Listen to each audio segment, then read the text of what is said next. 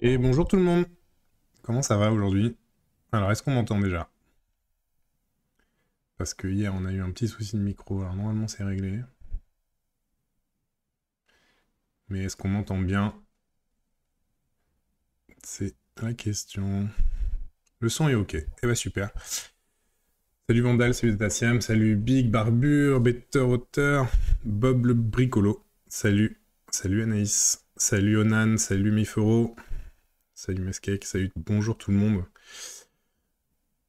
On entend bien, c'est magnifique. Tiens, Défacator est là, salut. salut mocks, salut Nemarx. Salut VVP, salut Don Pollux. Euh, bonjour à tous. Alors, est-ce que vous avez lu la deuxième partie de l'enquête sur Blast, pour ceux que ça a intéressé hier? Et au final, qu'est-ce que vous avez pensé de tout ça? Ça m'intéresse un peu de vous lire là-dessus. Euh, parce que je ne sais pas si vous avez vu, mais euh, Blast a publié un début de réponse euh, où, finalement ils ont dit qu'ils allaient répondre un peu plus tard, mais qu'ils préparaient en tout cas une réponse. Et je voulais juste le, petit communiqué qu'ils ont envoyé alors. Alors, je crois que ça a été envoyé à leur premier cercle d'abonnés. Mais je sais pas exactement leur timing, parce qu'ils ont dit qu'ils avaient publié un communiqué euh, beaucoup plus long. Euh, mais je ne sais pas du tout euh, quel est leur, leur timing. attendez, je vous le retrouve, le communiqué. Voilà. donc c'est un communiqué qui a été publié sur Telegram. Et donc la réponse de Blast, pour l'instant en tout cas. nous contestons intégralement et fermement cette enquête et son contenu. Je vais vous montrer le... Hop, je vais vous montrer parce qu'on l'a ajouté à l'article. Euh, nous contestons intégralement et fermement cette enquête et son contenu, indique le document qui énonce un travail à charge. Nous répondrons à chacune de ces accusations aussi folles qu'infondées au plus vite. À Blast, nous avons l'habitude de lutter et de prendre nos responsabilités. Chacun devra assumer les siennes. Voilà. Salut Upgi, salut Laura. Bienvenue. Bienvenue à ceux qui viennent pour la première fois aussi sur cette matinale. Hein. Peut-être que je le répète pas assez parce que c'est la première semaine quand même. Donc tous les matins, 7h15, on passe une heure, une heure et demie ensemble. Euh, et en général, on décrypte deux, trois faits d'actualité. Ça dépend combien de temps on passe sur chacun, mais, mais voilà. Léna, je suis pas sûr de comprendre pourquoi ce communiqué a été publié dans les commentaires plutôt que d'avoir réclamé un droit de réponse auprès d'arrêt sur image. Alors, il a été publié en effet dans les commentaires par un abonné, si j'ai bien compris, de Blast et d'arrêt sur image. Euh, mais en fait, il a été d'abord envoyé par Telegram à une boucle euh, de sociétaires et d'abonnés, je crois, de la première heure de Blast. Euh, et ensuite, donc visiblement, l'un de ses abonnés l'a copié-collé dans nos, dans nos commentaires. Et donc, nous, on, bon, l'a eu via Telegram, mais en tout cas, on l'a ajouté à notre article. mon petit doigt me dit que Denis Robert ne va pas faire dans la dentelle pour démentir. Alors, je ne sais pas. Je ne vais pas présumer. Je vais laisser Denis Robert répondre comme il veut. Sachant qu'il a déjà longuement la parole hein, dans notre enquête, il répond déjà beaucoup ce qui est normal, parfaitement normal. mais, euh, mais juste pour répondre à ta question, Léna, euh, d'avoir réclamé un droit de réponse auprès d'arrêt sur image, euh, ils vont peut-être le faire, hein, l'un n'empêche pas l'autre, puisque dans leur premier communiqué, donc celui que je viens de vous lire, ils disent qu'ils répondront à chacune des accusations aussi folles qu'infondées au plus vite. Donc on verra ce que ça veut dire au plus vite, niveau calendrier, ce sera peut-être aujourd'hui, peut-être pas. On ne sait pas. Perso, j'attends de voir ce que dit Blast. Eh ben, nous aussi, Jopa. Exactement. Salut Karamazov. Nous aussi, on attend de voir ce que dit Blast. Et de toute façon, évidemment, ça sera ajouté euh, aux deux enquêtes dès que, dès que ça sera publié euh, quelque part. Je sais pas s'ils vont répondre en vidéo, je sais pas s'ils vont faire un communiqué. Euh. On verra bien. Bon, bah s'il n'y a pas plus de questions sur Blast, on va commencer. Euh, et on va commencer avec une histoire. Alors bon, on va commencer un peu léger parce qu'ensuite on a deux sujets un peu plus lourds. euh, salut OB. Mais on va commencer avec un sujet un peu plus léger quand même. Ah, c'est pas fini. Alors, Jopa nous dit l'article est très à charge. Euh, alors, bonne question. Est-ce qu'il est très à charge cet article? Euh, Je sais pas s'il est très à charge. Disons que les témoignages sont très à charge. Euh, moi, je le trouve plutôt bien équilibré. Euh, salut Jean-Charles, merci de nous regarder dans le train. Je trouve plutôt bien équilibré euh, cet article dans le sens où la direction de Blast a beaucoup la parole. dans sa rédaction aussi. Ok, j'entends.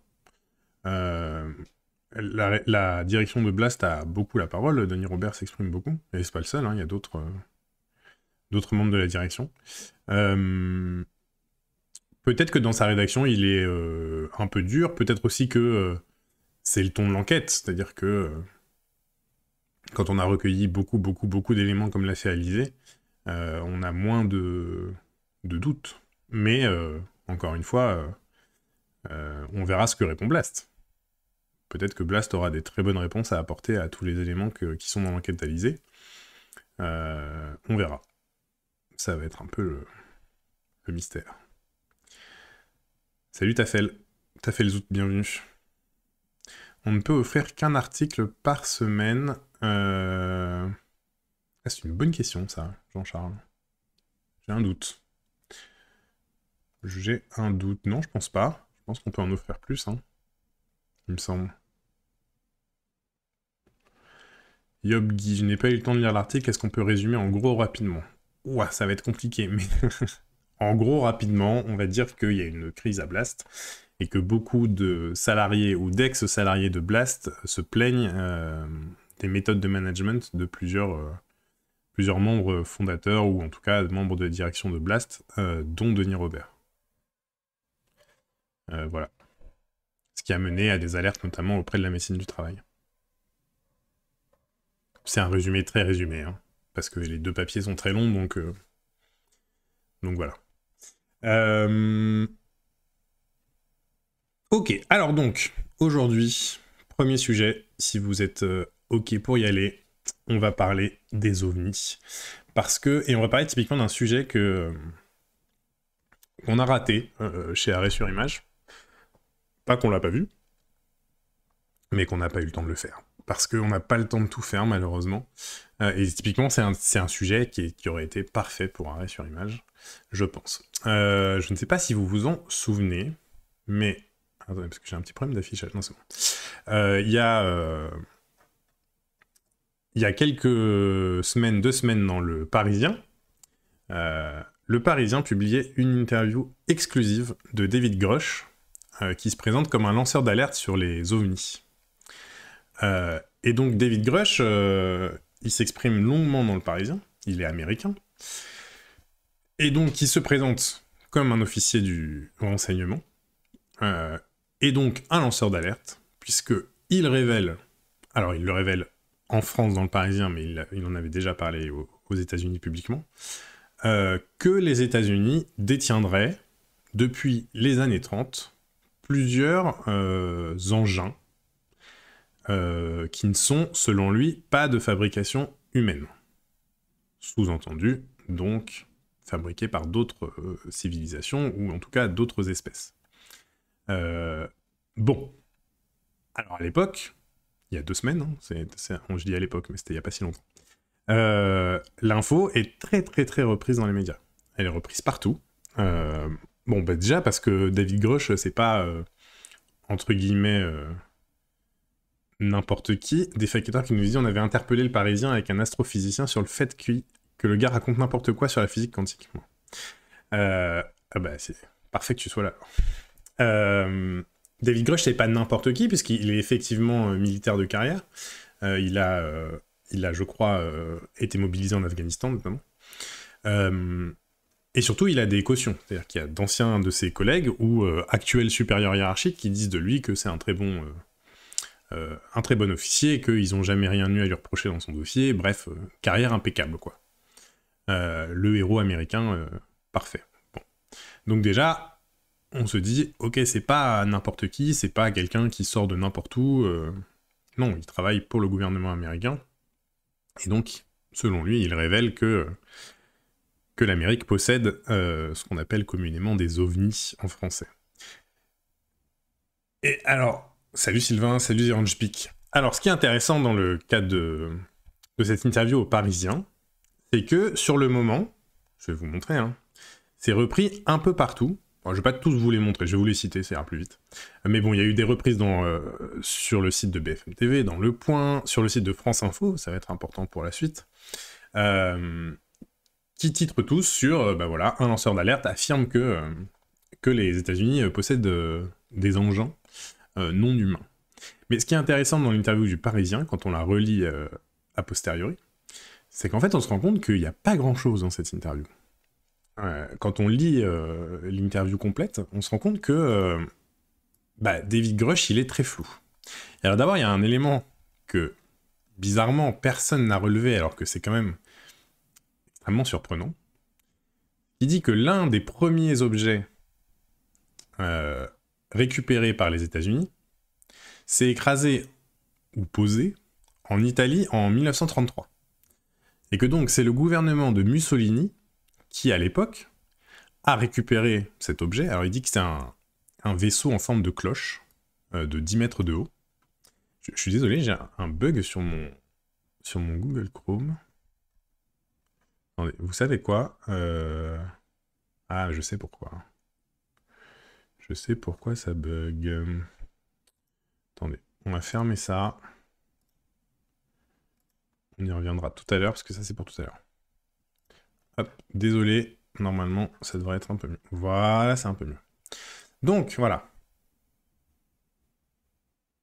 On y vient. Désolé pour ce début euh, technique un peu laborieux.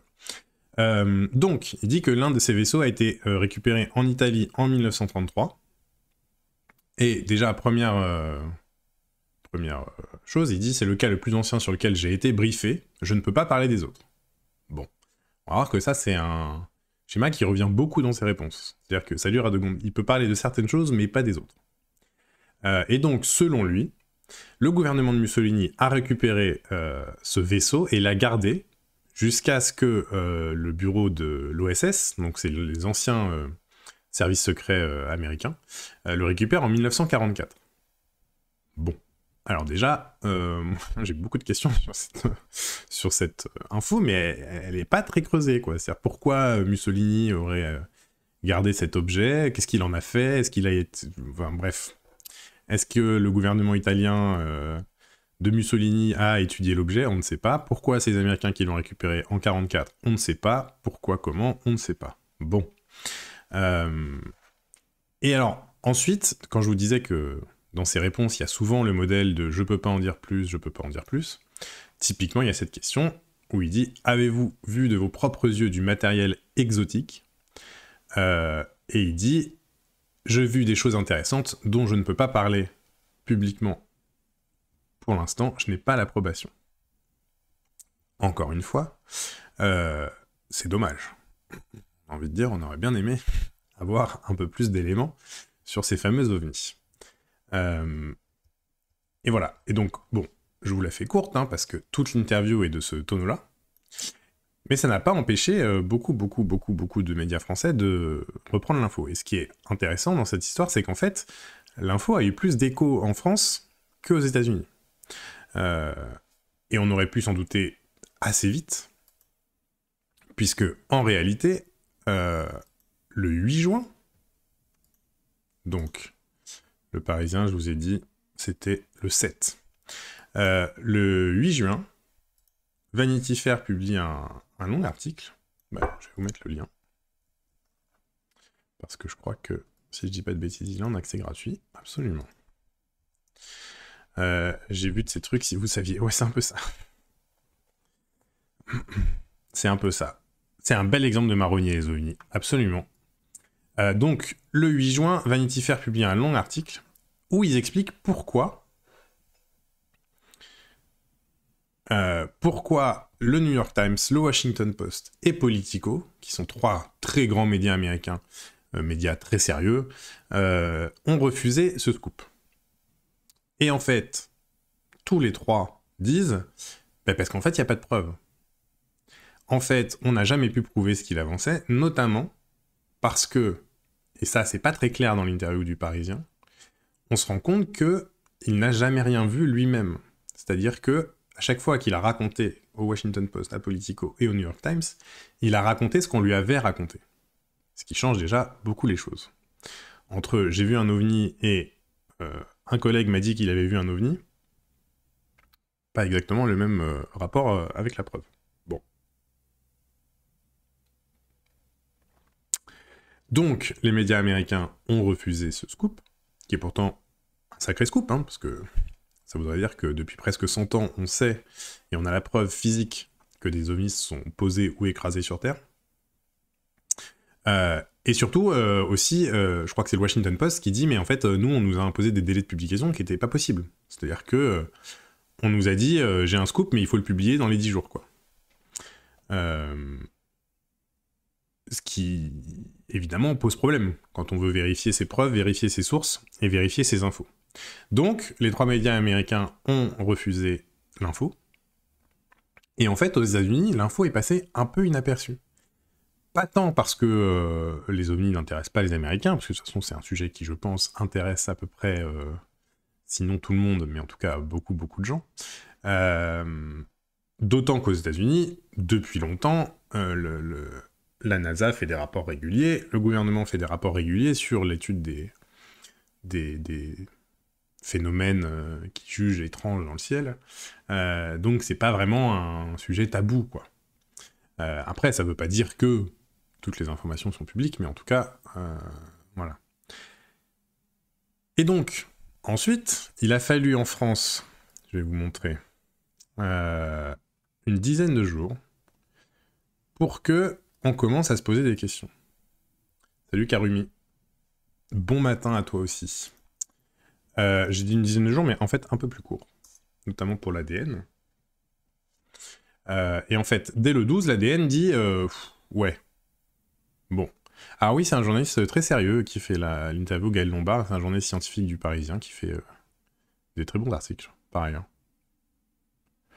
Euh, le thème des ovnis est pas mal revenu sur le devant de la scène après la création de l'équivalent du GEPAN côté américain. Ouais, exactement.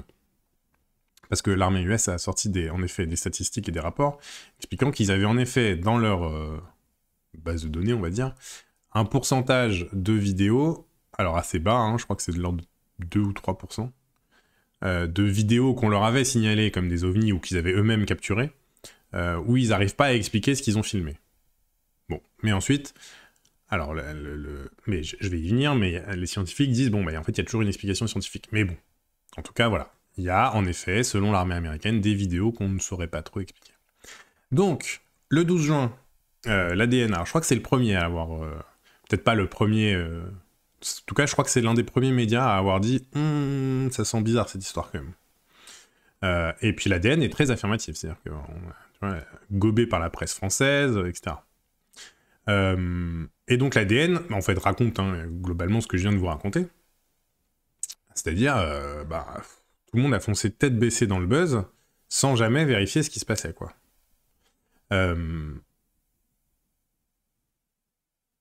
Et donc, typiquement, l'ADN aussi pointe un, élément intéressant, c'est que euh, David Grush a donné une interview à un média américain qui s'appelle News Nation, euh, dans laquelle il sous-entend, mais encore une fois, il n'affirme jamais, c'est ça le problème, il sous-entend qu'on aurait retrouvé les pilotes de certains de ces ovnis, donc des extraterrestres. Euh, et donc le journaliste lui demande, je vous mets pas la vidéo parce que c'est en anglais, mais le journaliste lui demande, mais quand on arrive sur un crash, logiquement on trouve des pilotes. Et il dit naturellement, lorsque vous récupérez quelque chose qui a atterri ou s'est écrasé, vous découvrez parfois des pilotes morts, et croyez-le ou non, aussi fantastique que ça puisse paraître, c'est vrai. Et alors ce qui est intéressant, c'est que euh, cette traduction là, je l'ai vérifié, c'est globalement ça hein, ce qu'il dit. Euh, la phrase ne veut rien dire. C'est-à-dire qu'il ne dit pas qu'on a trouvé des pilotes morts. Salut Brocoli. Il ne trouve pas qu'on a trouvé des pilotes morts. Il ne dit pas qu'on a trouvé des pilotes morts. Il dit d'habitude, naturellement, il dit quand vous trouvez un, objet qui s'est écrasé ou qui a atterri, vous découvrez parfois des pilotes morts. Et croyez-le ou non, c'est vrai. Mais qu'est-ce qui est vrai On ne sait pas. Euh, il ne dit jamais, en effet, on a trouvé des pilotes morts. Je les ai vus, j'ai vu les corps, j'ai vu les rapports d'autopsie, j'en sais rien, j'ai vu les. Euh, et donc, euh, et donc euh, par ailleurs, ce qui est intéressant, c'est que, et ce que signale l'ADN, c'est que cette info n'était pas dans l'interview du Parisien. Alors que c'est quand même très fort comme info. Mais parce qu'en fait, il n'y a pas d'info, c'est-à-dire qu'on ne sait pas s'il a vu les corps ou s'ils ont trouvé des corps. C'était des drones. Mais peut-être que c'était des drones, peut-être qu'il n'y avait pas de corps. Mais en tout cas, il laisse entendre qu'on a trouvé des corps. Euh, ce qui est intéressant aussi, c'est que euh, il, euh, laisse entendre que les États-Unis ne sont pas les seuls à savoir à avoir ces infos. il dit aussi qu'il il y a le Canada, le Royaume-Uni, l'Australie et la Nouvelle-Zélande qui formeraient une alliance. Sanid qui nous dit si on n'a pas trouvé les pilotes, c'est qu'ils sont pas morts et sont parmi nous. Bah peut-être. Peut-être, mais on les a pas encore rencontrés. ce qui est intéressant, c'est que tout ça ne vient pas par hasard. C'est-à-dire que David Grolsch, il n'est pas. Euh, on l'a pas mis au devant de la scène comme ça, euh, complètement par hasard. Euh, c'est qu'en fait, à la base, c'est deux journalistes scientifiques américains qui ont.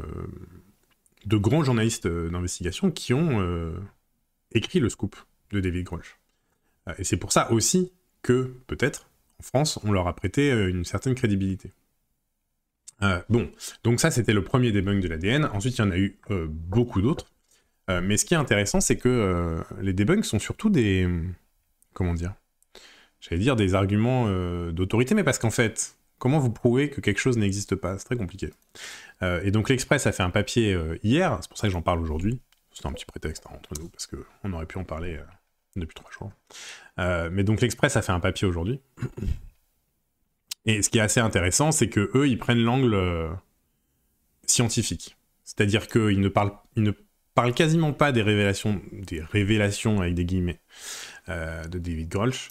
Euh, eux plutôt prennent le point de vue des scientifiques pour dire, en fait, ce que dit David Grolsch n'a pas trop de sens, ne serait-ce que parce que ce qu'il décrit, c'est ce que décrit en fait la science-fiction. C'est-à-dire que dans ce que décrit David Grosch, la rencontre avec l'extraterrestre se passe exactement comme dans un film de science-fiction.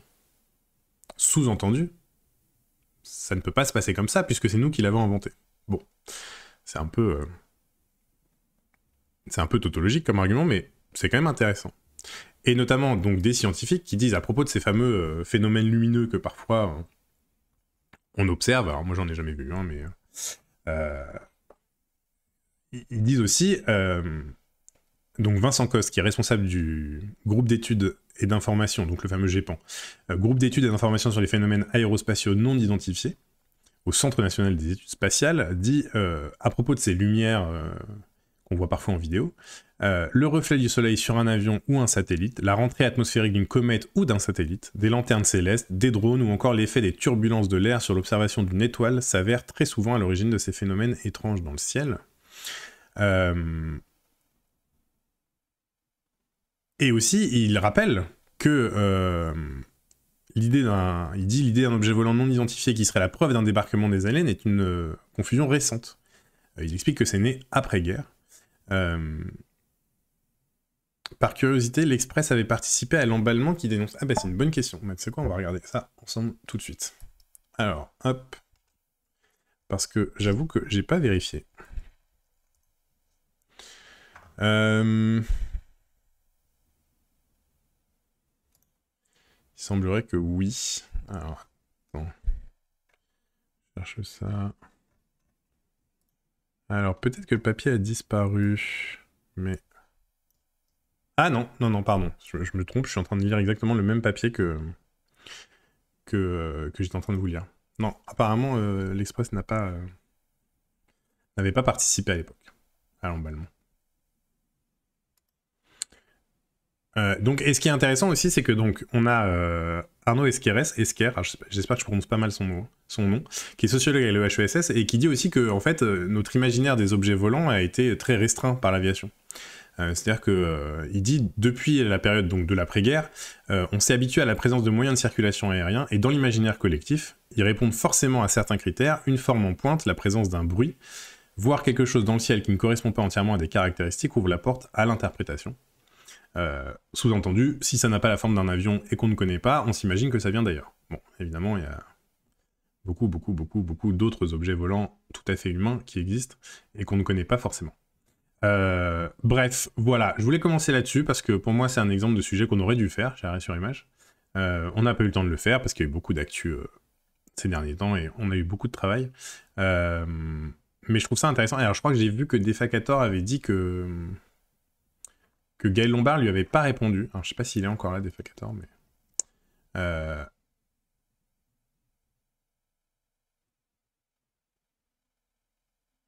Alors, Defacator, justement, qui nous dit il y a une phrase de Grudge dans son interview du Parisien qui montrait pour tout astrophysicien qu'il racontait n'importe quoi.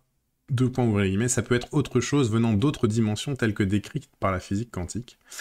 Euh, en effet, peut-être que cette phrase aurait dû nous mettre un peu la puce à l'oreille quand on la relit aujourd'hui, et on aurait peut-être pu se douter qu'il y avait un petit souci. Mumba qui nous dit ça peut être des falafels, peut-être. On a une idée de la portée, de la crédibilité accordée à ce genre d'article, ça me paraît hyper lunaire. Euh, bah déjà, hyper lunaire. Très bonne expression vu les circonstances. Mais euh, bah alors la portée, euh, c'est difficile à dire. Hein. En tout cas, ça a été repris par beaucoup de médias, donc c'est sûr que beaucoup, beaucoup, beaucoup de gens l'ont lu. typiquement, France Info l'a repris. Ouais, ça a fait la une du Parisien, exactement comme dit Defacator. Parisien qui est un journal très lu. Et ensuite, la crédibilité accordée, bah ça, chaque lecteur euh, accorde la crédibilité qu'il veut. Hein. C'est-à-dire que je pense que ça joue, typiquement, c'est le genre d'histoire qui joue sur beaucoup de nos billets personnels. Si vous y croyez, si c'est un sujet qui vous passionne, si euh, euh, vous êtes persuadé qu'on vous cache des choses, ou même pas d'ailleurs, si vous avez envie de croire qu'il y a une vie extraterrestre et qu'on n'est pas tout seul, forcément ça va vous parler, ça va vous toucher.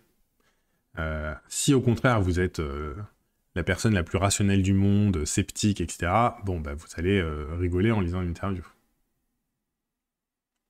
Euh, les gros journaux européens en ont parlé. Alors j'ai regardé, il y a eu des reprises notamment dans la presse, euh, alors beaucoup tabloïdes anglaises. Salut Carolico, bienvenue. Mais, sinon, non, il n'y a pas eu beaucoup, beaucoup de... En fait, il n'y a pas eu beaucoup de contre-enquêtes au final. Hein. Ce qui est intéressant, c'est que typiquement France Info, quand l'interview est sortie dans le Parisien, ils ont fait un papier un peu news, qu'on appelle un peu news, c'est-à-dire une reprise euh, euh, un peu bête et méchante des propos. Euh, et hier, ils ont publié une vidéo de, de debunk dans l'émission Vrai ou Fake, en disant, bah, en fait, il y a zéro preuve dans ce qu'ils racontent. hier ou avant-hier, je crois que c'était lundi. les annonces de la NASA début juin ont sans doute ouvert une fenêtre d'opportunité dans les médias pour des gens qui voulaient parler du sujet. Ouais, bien sûr, c'est sûr. C'est certain. On se rappelle la hype sur l'astéroïde Oumuamua qui aurait été un vaisseau extraterrestre. Ouais. L'AFP a repris Non. Non, non, l'AFP a pas repris.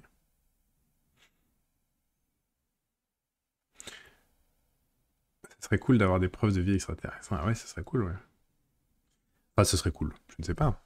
Ça dépend ce qu'on en ferait, mais...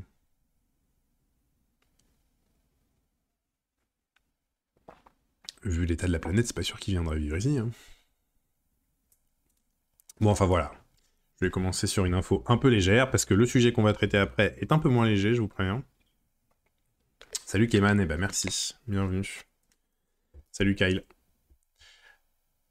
Juste parce que t'as une carrière sans histoire, tu peux raconter n'importe quoi et être pris au sérieux. Ouais, alors après, en fait, ce qui est particulier sur les sujets euh, comme celui-là, et je pense que Defacator ne va pas me contredire, euh, c'est que comme c'est des sujets où, in fine, comme je disais, on ne sait pas, on n'a pas la preuve que, mais on n'a pas la preuve que non, euh, ben du coup, ça ouvre la porte à beaucoup de choses. Euh, et ce qui est dommage, c'est que finalement, ça aurait été assez facile de, de démontrer que ce qu'il disait n'était pas prouvé. C'est-à-dire qu'à partir du moment où vous n'arrivez pas à mettre la main sur des photos, euh, un morceau, par exemple, de vaisseau. Si vous avez, imaginons, imaginons, on va faire un exercice de pensée. Il aurait ramené un morceau de métal ou de je ne sais pas quoi, d'un matériau que, et on le faisait analyser par des scientifiques, et les scientifiques vous disaient, mais on n'a jamais vu ce matériau sur Terre. Bon, bah là, ça devient intéressant. Peut-être qu'il faut creuser, peut-être qu'on a quelque chose. Euh, mais euh... salut Romgam, merci, merci beaucoup d'avoir renouvelé cette, cet abonnement. salut Adèle, Bienvenue. Euh, Little Poisson, est-ce que c'est des sujets pour meubler ou c'est pour d'autres raisons? Alors, je pense pas que ce soit pour meubler, parce que là, ça a quand même fait la une du Parisien. Donc, c'est qui misait beaucoup sur le sur l'exclusivité, le, je pense. Euh, je pense que c'est des sujets aussi qui, dont on sait qu'ils vont marcher, c'est-à-dire que euh, ça, ça, va, ça va faire cliquer en ligne, ça va faire acheter le journal. Euh, Radegonde qui dit c'est un peu le biais de l'expert. Ah oui, à ce que disait The New. Ah oui, parce que The New disait euh, juste parce que tu as une carrière sans histoire, tu peux raconter n'importe quoi et être pris euh, au sérieux. et donc Radegonde dit c'est un peu le biais de l'expert. Oui, c'est un peu le biais de l'expert, en effet. Euh, L'article du Parisien était aussi dans la version papier, c'était la une du Parisien, ouais. Datasiam. C'était la une du journal.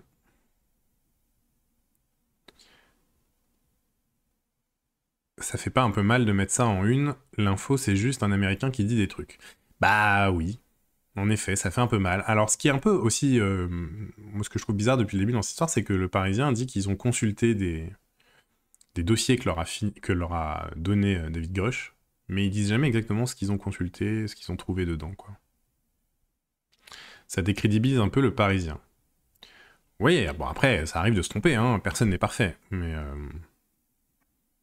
mais, mais oui, c'est sûr que sur ce genre de sujet, en fait, euh, on s'autorise euh, beaucoup de choses journalistiquement. Euh, quand je dis on, c'est pas tous les journalistes, hein, mais certains. Et dans l'interview, Grush n'avait aucun élément concret et surtout il faisait du teasing en disant qu'il n'était pas autorisé à en parler pour l'instant. Ouais, c'est ça, moi c'est ça que je trouve très bizarre dans cette interview du Parisien, hein, c'est que, et qui aurait déjà dû alerter tout le monde, c'est que il y a au moins 3 ou 4 réponses, je crois, où il dit non mais ça je peux pas en parler, j'en parlerai plus tard. Mais on attend toujours, hein, ça fait 15 jours. Pour l'instant, on n'a pas. Grush aurait pas un bouquin à vendre. Alors je ne crois pas, mais il a annoncé qu'il allait lancer une fondation non lucrative euh, pour euh, l'étude des extraterrestres.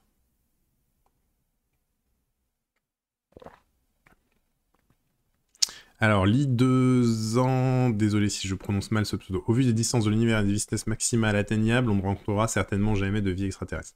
C'est oui, c'est une théorie scientifique, ouais. Euh, je vais pas dire de bêtises, mais en effet, c'est le paradoxe de. J'ai oublié le nom du paradoxe, je suis désolé. Euh, mais qui dit qu'en fait. de Fermi, merci. Et si je dis pas de bêtises, qui explique que s'ils existaient, on les aurait déjà rencontrés. Euh, mais je vais surtout pas me lancer là-dedans et faire ce que je reproche aux Parisiens de faire, c'est-à-dire de très mauvaises explications scientifiques. Donc si vous voulez aller vous renseigner sur le paradoxe de Fermi, allez-y. Ça m'évitera de, dire de grosses bêtises. Moi, journaliste, j'aurai toutes les alarmes qui s'allument avec de tels propos qui évacuent le manque de preuves. Euh, bah oui, oui, c'est sûr. C'est sûr que normalement, euh, on entend mes notifs WhatsApp. Ah, pardon. Bah, je vais fermer mes notifs WhatsApp, tout bêtement. Désolé pour ça. Euh,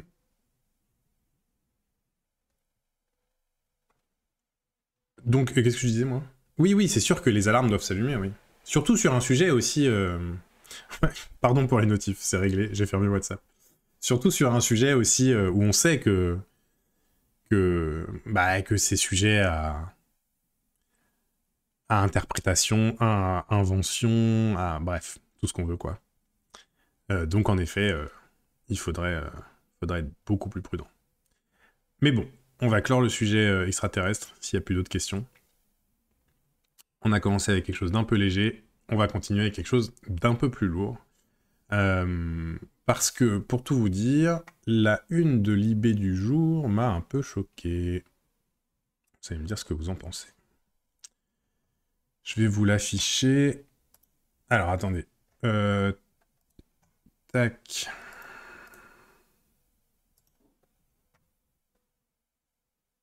Salut Madame Chouette. Alors je vais rouvrir euh, la fenêtre Chrome parce que j'ai vraiment un bug d'affichage et je vais vous mettre ça dans une nouvelle fenêtre.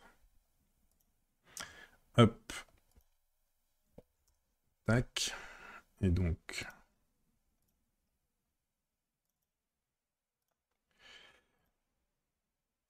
Hop. Voilà. Ah, ça marche beaucoup mieux. Euh, choqué et déçu. Eh ben un peu choqué et déçu, ouais. Alors, on passe sur un sujet un peu plus lourd, parce que depuis euh, quelques semaines, voire quelques mois maintenant, euh, une nouvelle drogue fait des ravages aux États-Unis, la xylazine. la xylazine, à la base, c'est un, un, anesthésiant pour animaux, notamment pour chevaux.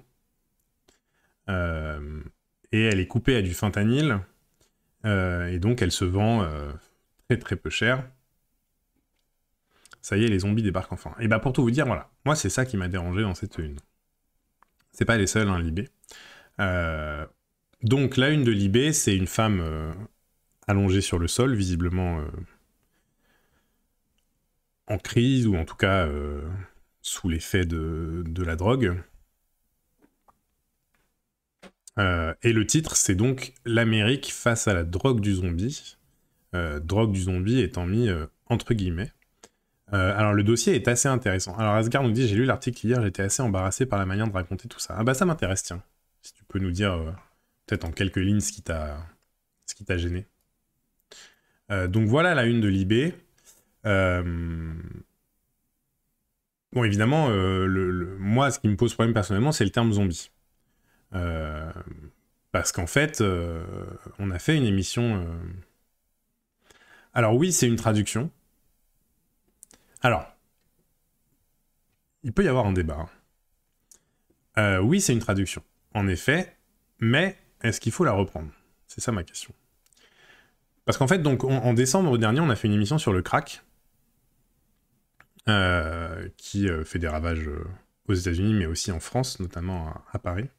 Il n'y a pas eu déjà des infos là-dessus il y a plusieurs années. Alors si, mais c'est peut-être pas la même drogue. Mais on a souvent le, ce gimmick, enfin gimmick, c'est pas le bon mot, mais cette rengaine de la nouvelle drogue du zombie qui revient. soit c'est le fentanyl, soit c'est le crack, soit c'est l'oxycodine, etc. Comme dit Yal. ça revient cycliquement. En fait, à chaque nouvelle drogue, euh, on a un peu ce nouveau, ce même traitement médiatique. Et d'ailleurs, c'est ce que, c'est ce dont je voulais vous parler ce matin. C'est moi ce qui me gêne un peu, euh, parce qu'en fait, on a fait une émission donc en, ah bah Adèle vous a mis le lien. Merci Adèle. On a fait une émission en décembre sur le sur le crack, euh, et en fait, on avait exactement la même chose. Et donc, je voulais vous montrer. Comme Adèle m'a mis le lien, je vais vous le, je vais vous la montrer juste ici. on avait invité Marie-Geoffrey euh, Roustide, euh, qui est euh, sociologue, elle est spécialiste de la gestion du risque dans le domaine des stupéfiants.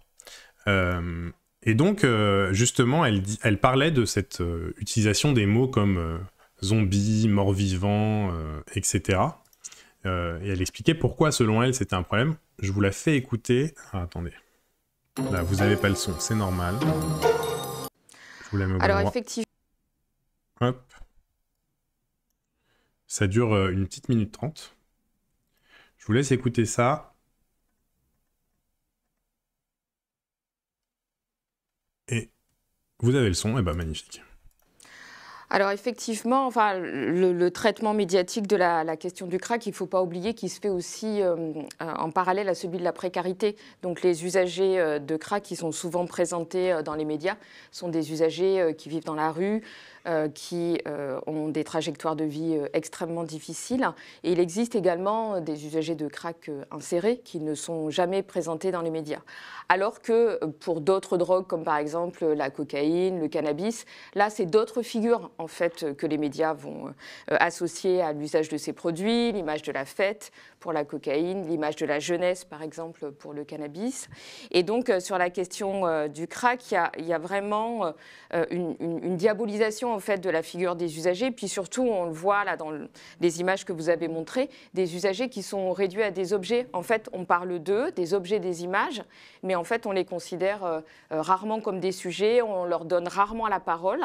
Nous, dans une euh, étude qu'on a menée sur l'analyse de la presse, sur les usagers qui fréquentaient la salle de consommation à moindre risque dont vous avez parlé, on a montré en fait que les usagers étaient cinq fois moins interrogés que les riverains, par exemple, euh, sur un sujet qui les concernait également euh, directement, et qu'en plus, dans la moitié des cas, c'était des usagers de l'étranger qu'on allait euh, interroger dans les médias. Donc, au bout du compte, ils étaient dix fois moins interrogés que les riverains et 50 fois moins que les politiques, alors qu'ils étaient les premiers concernés par, par ces politiques publiques. Donc, voilà, j'arrête là. Alors, Asgar qui me dit à propos du dossier de Libé, euh, ce qui m'a gêné, c'est le côté enquête exclusive. Ce qui est raconté est uniquement ce qui est vu dans la rue. Ça passe des plombes sur les personnes qui se shootent devant tout le monde avec beaucoup de détails en mettant de côté l'aspect scientifique. Pas d'explication sur comment les US ont laissé le fentanyl et les opioïdes s'installer partout. Euh, ouais, c'est vrai. Et alors, justement, je voulais vous l'afficher parce que. Euh, donc, le reportage de Libé qui accompagne cette une, il est là. Hop.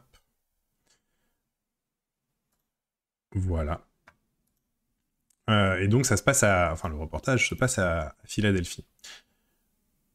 Euh, moi, ce reportage, je l'ai trouvé euh, alors les photos sont assez incroyables.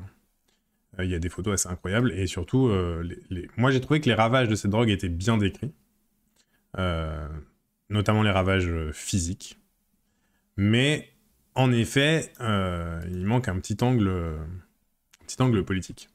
Mais donc je voulais revenir sur le lexique parce que pour moi il est important et, franchement ça m'a un peu déçu de Libé. J'ai pas trop compris pourquoi ils avaient repris ce mot. Euh, de zombies. Alors dans l'émission, vous pouvez d'ailleurs aller la voir l'émission parce qu'elle est en, accès libre, elle avait été votée gratuite à l'époque. Euh, dans l'émission, on mettait aussi des extraits que je vous repasse pas, mais on entendait des policiers par exemple en parlant de des gens accros au crack euh, qui disaient ça zone dans les stations de métro, ça salit les couloirs, ça, ça, ça. on était, je veux dire, c'était le dernier stade de la déshumanisation, quoi. Déjà, le zombie, c'est très déshumanisant comme image, par définition, puisqu'un zombie est plus vraiment humain. Euh, il est mort-vivant. Euh, et quand on en est à parler des gens en les désignant comme des objets, c'est dramatique, quoi. Parce que, avouons-le, zombie est une image choc et c'est putaclic, nous dit Karumi. Ouais, bien sûr. Euh, mais c'est dommage. Peut-être un peu naïf. mais je trouve ça dommage de la part d'un journal comme Libé de mettre ça en une. Euh, même si, d'accord, très bien, c'est peut-être le surnom qu'on donne à cette drogue euh, aux États-Unis, ça n'oblige pas du tout à le reprendre. On aurait très bien pu l'appeler autrement. Notamment parce que l'un des autres surnoms qu'on lui donne, c'est la trank drug. Je vous le dis en anglais avec un accent incroyable. trank pour tranquillisant. alors certes, c'est moins catchy, c'est moins vendeur, mais, mais au moins on avait une, idée de, ce que faisait cette drogue. Surtout ne pas se demander pourquoi ils se droguent, mais bien dire qu'ils sont responsables et coupables sans aucun facteur extérieur. Euh, ouais, alors dans le, reportage de Libé, euh, c'est quand même euh, nuancé, hein, c'est raconté, les, notamment l'effondrement de, certaines classes sociales, etc. C'est aussi un classique, c'est effectivement pas les mêmes classes sociales qui vont prendre de la C, donc de la cocaïne et du crack, absolument. Oui, oui, absolument. Mais d'ailleurs, ce qui était intéressant, et moi ce que j'ai trouvé très intéressant, et je ne le savais pas, dans l'émission qu'on a faite sur le crack, c'est que Marie-Geoffrey Roussy disait, en fait, il y a des utilisateurs euh, tout à fait euh, insérés de crack. Euh, on a toujours cette image terrible des zombies, des crackheads, comme on les appelle, etc. Même Gérald Darmanin les appelle les crackheads, les craqueux, je crois. ce, qui est, intéressant, c'est que Marie-Geoffrey Roussy disait, mais vous avez des gens à la défense qui prennent du crack. Euh, vous avez des gens qui travaillent dans les bureaux de la défense, euh, qui sont euh, à des niveaux de salaire très élevés, mais qui prennent du crack. Parce que bah, c'est une drogue hyper addictive, et qu'au premier essai, vous êtes accro. Et paradoxalement, ce qui est aussi intéressant, je m'étends un peu sur le crack, mais c'est que Julien Azuard, qui est addictologue, qui était sur le plateau, disait aussi que c'était une drogue dont on se sevrait plutôt facilement par rapport à d'autres ce qu'on ne dit jamais. Euh, c'est juste qu'en fait, on n'a pas les infrastructures par manque de volonté politique, par manque de. de, de ouais, d'initiatives et de, moyens. Euh, on n'a pas les moyens de traiter euh, les utilisateurs de crack. Je parle pour la France. intéressant, moi aussi j'ai cette image de cracky SDF. Et bah, pour tout dire, moi aussi je l'avais. je l'avais parce que aussi je vis à Paris, euh, que je, vois aussi les ravages que, que fait le crack. Euh, et, j'avais ce cliché un peu, ouais. Mais cliché qui est véhiculé aussi beaucoup par les médias. Hein. C'est-à-dire que, que vous avez déjà entendu euh, un témoignage de trader à la défense qui parle de son addiction au crack Jamais. donc, donc voilà, et, franchement, j'étais un peu déçu de, Libé sur ce coup-là parce que, en fait, ils ont fait la même chose que d'autres ont fait que là, je tape sur l'eBay parce que c'est leur, euh, dossier du jour, hein, mais euh, je vais vous montrer d'autres exemples. Hein,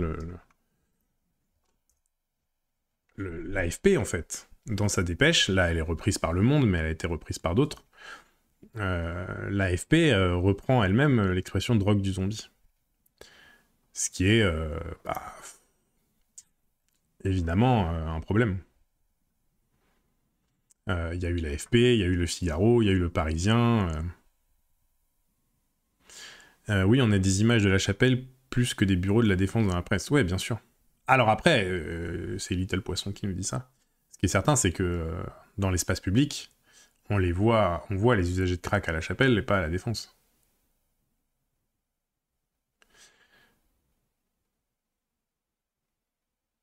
Il me semble qu'il y a un témoignage de craqueux inséré dans les pieds sur terre.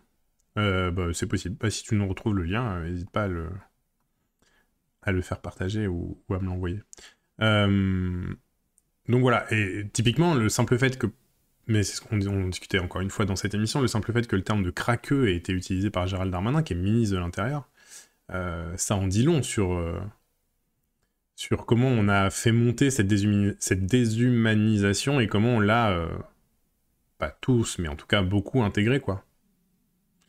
le crack, c'est les pauvres et les SDF, la cocaïne, c'est le showbiz et les traders, le hashish, c'est les jeunes. Ouais, c'est ça. Zombie, ça fait à la fois peur et ça met à distance. Ah oui, alors c'est une bonne remarque, c'est que en effet ça fait, ça met à distance, euh, mais aussi ça fait peur. C'est-à-dire que euh, on a tous en tête hein, euh, l'imaginaire du zombie, mangeur d'humains, qui n'a plus de cerveau très souvent, et, parce que les films, parce que les séries, parce que les livres. Mais mais du coup, est-ce que c'est parce que les journalistes ignorent qu'il y a aussi ces usages dans d'autres milieux ou c'est un manque de ne pas parler de cette partie des usagers? Bah, vaste question. moi, je pense qu'ils ne, l'ignorent pas. J'ai du mal ce matin, je suis désolé. Ils ne l'ignorent pas. Ils savent qu'il euh, y a des usages euh, ailleurs que ceux qu'on nous montre tout le temps. Mais je pense aussi que les accès sont plus difficiles. C'est-à-dire que pour trouver quelqu'un qui gagne 5 ou 6 000 euros par mois parce qu'il a un très bon emploi et qui utilise du crack et qui est prêt à parler et à vous raconter sa vie, c'est très compliqué, quoi. Euh, je, je pense que le travail d'enquête prend un temps fou. Alors que si je prends encore une fois Paris parce que je connais Paris, euh, bah, vous allez euh, dans certaines stations de métro, à certains endroits de Paris, et les usagers, ils sont devant vous, et vous avez juste à vous approcher avec un carnet et un crayon et, à leur poser des questions. Donc fatalement, vous réduisez votre, point de vue et votre focale. Euh, et donc, à force de réduire ce, point de vue, et eh ben, on n'a plus qu'un seul point de vue, en fait. C'est régulier les lives assis. Oui, alors euh, salut Sanid, euh, le 7-15 c'est tous les matins, du lundi au jeudi, à 7h15, comme son nom l'indique. Et un mardi sur deux, tu as Proxy avec Loris Guémard. Euh, un mardi sur deux vers 16h30. Qu'est-ce que je disais? Donc oui, on réduit fatalement l'angle de vue et la focale qu'on utilise. et du coup, on réduit le sujet. Et du coup, on discrimine, puisque fatalement médiatiquement, on ne voit que les mêmes usagers tout le temps, tout le temps, tout le temps.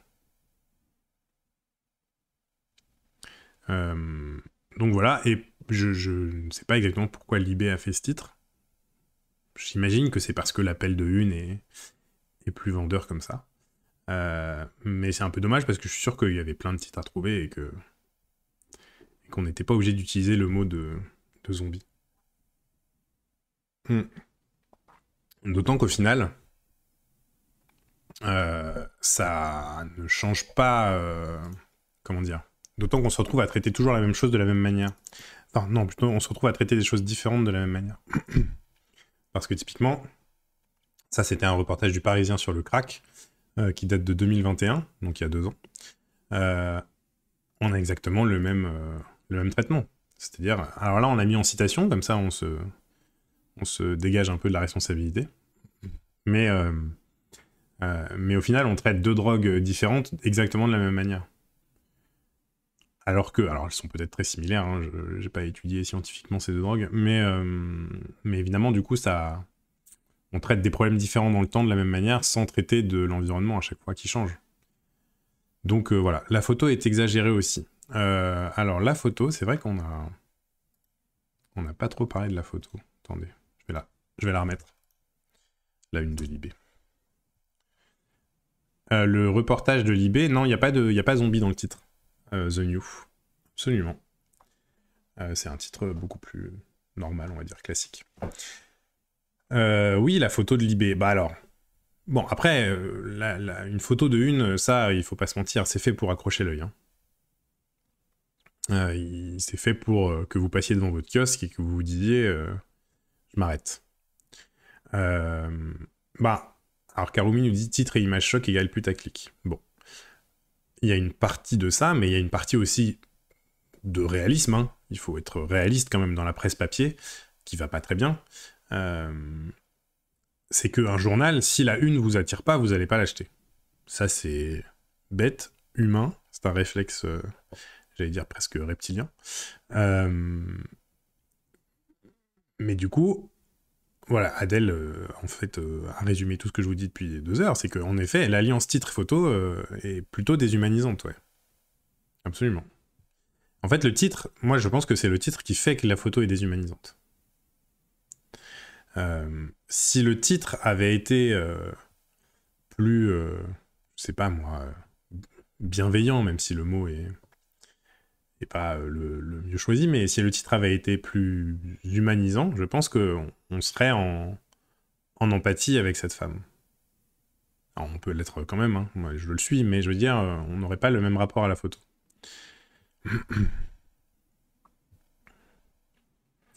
C'est un gros problème cet angle, ça survole de très très haut le fait cause du Si après un accident, une maladie chronique ou non, ou des soins médicaux, qui vont nécessiter une prise d'antidouleur, n'importe qui peut devenir accro aux opiacés et se retrouver dans cette galère.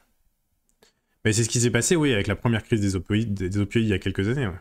C'est que on a gavé euh, les patients américains d'antidouleur et qu'on a oublié de les sevrer après, quoi. Donc pour ceux qui n'avaient plus les moyens de se payer des soins ou pour ceux qui n'avaient plus euh, de canaux de distribution de ces médicaments, euh, eh ben, ils se sont retrouvés accros à une drogue. Donc, donc voilà. Donc la photo, eh ben écoutez, euh, euh, ça se discute, la photo, mais c'est l'alliance titre-photo qui en effet fait le, fait le problème à mon avis. voilà, d'autant qu'il y avait d'autres, il y a d'autres photos dans l'article de Libé qui sont aussi très fortes, mais peut-être moins, moins violentes. donc ils auraient pu aussi en utiliser une autre. Bref, voilà, je voulais vous parler de ça parce que c'est un sujet qui m'intéresse particulièrement. L'Amérique face au xylazine, c'est moins vendeur. Oui, c'est sûr que c'est moins vendeur. Ça, je suis d'accord. Euh, elle sort d'où la photo? Alors, si je ne dis pas de bêtises, euh, Libé en une ne met que des photos signées Libé. Donc, a priori, c'est une photo Libé. En tout cas, toutes celles du, toutes celles du reportage, euh, sont signés euh, d'un photographe euh, qui a travaillé pour Libération. Donc j'imagine que c'est la même chose pour la photo de une. Mais voilà, typiquement, si on prend la photo de ce, monsieur, qui s'appelle Anthony, euh, c'est sûr qu'en une, c'est moins accrocheur.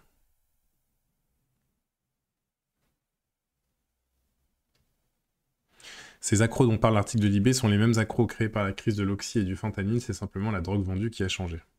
Ouais, absolument. Ah oui, c'est une drogue qui. C'est une crise qui dure depuis des années. Hein. C'est pas. C'est pas nouveau.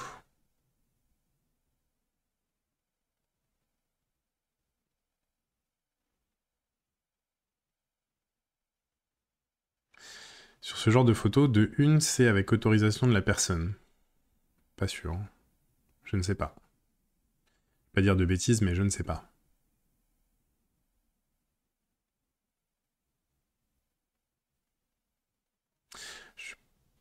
Alors, le langage photographique, ça implique le sujet, le cadrage, le contexte de publication. Une photo, c'est pas plus réel qu'un article de presse. C'est-à-dire, c'est intéressant, mais alors j'ai raté le début de la conversation. Désolé, comme j'étais en train de. Une photo, c'est. Ah oui, alors d'accord. C'est Yal qui disait une photo, c'est réel, ça s'oriente, mais faut pas être naïf non plus, c'est une photo. Du coup, je comprends pas très bien ce que tu voulais dire, Yal. Euh, mais donc voilà, on va clore le sujet s'il n'y euh, a pas d'autres euh, remarques ou questions. Euh, mais voilà, typiquement, encore une fois, une très belle photo de Libé, de Daniel, 42 ans, qui, est, qui était accro à la xylazine. mais on, on, comprend bien que si on met cette photo en une, on ne va pas comprendre de quoi on parle. Parce qu'on va avoir l'impression qu'on fait le portrait de Daniel, ce qui n'est pas le cas. ouais, cette photo est très belle, ouais. Euh, mais donc elle ne marche pas en une. Donc c'est là aussi qu'il faut être euh, malheureusement un peu réaliste quand on, vendre la presse papier, c'est qu'il faut quand même que ça, ça accroche, quoi. Et puis que ça ait une cohérence avec le sujet. Parce que Daniel, elle a une cohérence avec le sujet dans le reportage, mais en une, moi, si je passe devant la une et que je vois cette photo, je me dis, mais qui est cette personne? Je la connais pas. Euh, pourquoi on va me raconter sa vie, quoi? Voilà. Euh, très bien. Alors, on va passer du tout au tout, si vous voulez bien, et on va parler de valeurs actuelles, parce que je ne sais pas si vous le savez, mais c'est la crise chez Valeurs. Euh, la photo est de Jeffrey Stockbridge. Ouais, toutes les photos sont de Jeffrey Stockbridge. Et elles sont vraiment très très belles. Bah, tenez, je vous mets le lien du reportage de Libé. Comme ça, vous l'aurez. Et tout le monde pourra aller se faire une idée.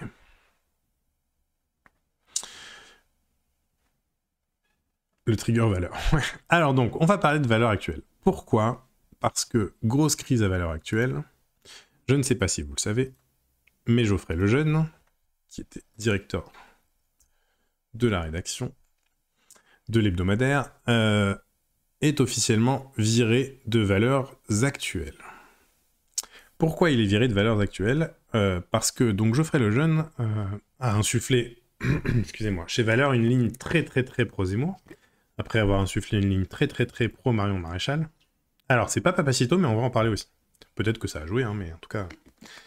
Euh, et donc c'est une ligne qui n'a pas plu du tout au propriétaire de valeurs actuelles, Iskandar Safa, qui est un milliardaire franco-libanais, et qui en fait, lui, de ce que de ce qui se dit, hein, de ce qu'on raconte dans le monde, etc., euh, préférait que la ligne soit plus neutre politiquement. Lui, il est pour l'alliance de toutes les droites, et donc il n'est pas du tout pour privilégier Éric Zemmour. Le jeune victime de la cancel culture. Le jeune victime de la cancel culture. Euh, bah, d'ailleurs, c'est une vraie question qui s'est posée, hein, puisque Geoffrey Lejeune et d'autres, hein, ont dit ah bah évidemment quand c'est Geoffrey Lejeune, personne se plaint qu'un propriétaire de journal fasse pression sur sa rédaction. Euh, bon, il y a eu un billet de Jonathan Boucher-Petersen, encore une fois dans l'IB. Je vais vous le retrouver. Euh, qui justement se posait la question est-ce qu'il faut s'inquiéter quand un journaliste d'extrême droite est licencié par son, son actionnaire. C'est pas celui-ci. Euh, bon, je le retrouve plus, je vous le retrouverai tout à l'heure. Ce qui est intéressant, c'est que... Euh, donc en fait, on se rend compte qu'il y a une guerre culturelle euh, au sein de l'extrême droite. entre ceux qui ont promu Éric Zemmour et ceux qui veulent une alliance de toutes les droites, LR, RN et pourquoi pas Reconquête. Euh, ce qui est intéressant aussi, en tout cas ce que disent les chiffres de valeur actuelle, c'est que la ligne Zemmour n'a pas marché du tout. Euh, et c'est aussi probablement ce qui dérange, salut Antoine, c'est aussi probablement ce qui dérange Iskandar Safa, qui est un homme d'affaires, euh, il est quand même aussi là pour faire de l'argent, c'est que la ligne Zemmour n'a pas marché. les chiffres de valeur actuelle se sont effondrés c'est Le Monde qui le raconte. En 2022, Valeur Actuelle, a affiché une diffusion totale en baisse de 9% par rapport à 2021, euh, ce qui est euh, énorme. Euh, par ailleurs, Valeur Actuelle a perdu beaucoup d'annonceurs suite à l'action des Sleeping Giants. et forcément, une ligne pro-Zemmour, pas très attirant quand on veut faire de la pub, a priori. Par ailleurs, on pourrait aussi dire que la ligne Zemmour a perdu dans les urnes. Donc finalement, est-ce que c'était la bonne stratégie? Pas sûr. Euh, Shadok qui nous dit étape 1, tirer à droite toute et décaler la fenêtre d'Overton. Étape 2, une fois la droite classique décomplexée, recentrer sa ligne pour les récupérer et les pousser encore plus vers la droite. Alors, c'est l'autre théorie, c'est que tout ça est un billard à trois bandes. Mais bon, pour l'instant, on n'en a pas la preuve. Euh, pourquoi je vous montre tout ça? Parce que je voulais vous montrer un extrait. Un extrait d'une interview de Charlotte Dornelas, qui était journaliste euh, à valeur actuelle, elle aussi. Alors je vous la retrouve, parce que c'est ça qui faisait bugger ma page tout à l'heure, donc j'ai dû la fermer. Euh, donc Charlotte Dornelas, elle est journaliste à valeur actuelle. tout cas, elle l'était, puisque donc elle a annoncé qu'elle allait partir.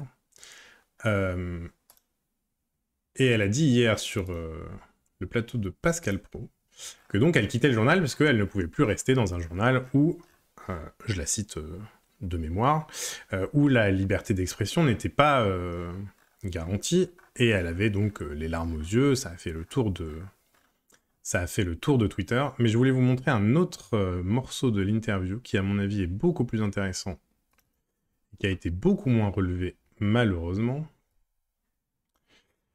Euh, hop, je retrouve mon timecode. Voilà, je l'ai. Et on va écouter ce que dit, Valeur, euh, ce que dit Charlotte Dornelas. Pardon. Si ça veut bien fonctionner. Euh, au-dessus de ça. Et, nous avons précisément un désaccord sur ce qui faisait, euh, euh, le, je pense, la, vraiment la différence à valeurs actuelles. Donc c'est. Hum, voilà, c'est difficile de, continuer à travailler comme ça. Vous travaillez depuis combien de temps à Valeurs Actuelles? Moi, j'y suis depuis 6 ans, 7 ans. Je suis arrivé en même temps qu'Emmanuel Macron à l'Élysée.